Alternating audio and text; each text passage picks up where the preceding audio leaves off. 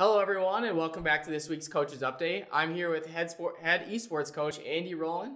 Coach and his esports teams will start the CCL season on February 20th. So, Coach, welcome back for your second interview. Um, your esports team play, plays other play schools all over the country. Uh, what's it like as a smaller NAIA school to face some bigger schools like Iowa State, Nebraska, and Wisconsin, and all the other bigger schools that you guys play? Uh, it's a piece of cake. Um, yeah, it, it really just depends on what the university has established for an esports team. Um, lately, a lot more universities are starting to beef up their schools, but because we got into the game early, we're really competitive. Mm-hmm. Um, our our squad is really healthy.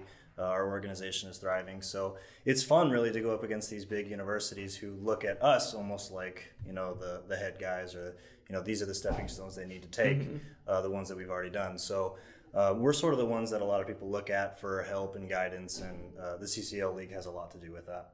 Um, as you said, you just you just schedule uh, set the schedule for the CCL. What what does that season look like for you guys? Um, so first match to start this weekend. Uh, mm-hmm. Uh, we play SDSU in League and Valorant. Um, so that's going to be um, pretty pretty competitive. Um, we try to we've somewhat we've naturally formed sort of a, a rivalry with them. They're so close, and uh, I know their program pretty well. So um, it's an eight week schedule. So every game is uh, really really matters. Um, so each week our guys need to get prepped and ready, and then we move into a postseason. Um, so it's it's going to be a, a, really competitive season this year. We're adding two more universities. Um, Wisconsin La Crosse, Dickinson State. Well, we have a bunch now. Mm-hmm. We've got mm-hmm. like nine, but we're adding two new teams to each conference. So there's going to be eight in each conference now uh, across three uh, sports. So um, it's going to be really fun. We're, going to be more competitive this year or the semester. I'm, I'm, I'm excited to see how this one plays out. I kept up really well with the last season, so I'm excited to see how this one goes. Um, as a fun last little question for you, if you were to play, uh, be a player again, um, what game would you would you play? Yeah, I, I played a lot of League of Legends in college uh, on our varsity squad uh, when I was in college. But um, right now, I'm pretty much exclusively playing Apex. Uh, I love it. I'm a shooter at heart, so um, you know that the movement in the game and everything. Mm-hmm. Uh, Respawn's a great company too. They're uh, producing great content.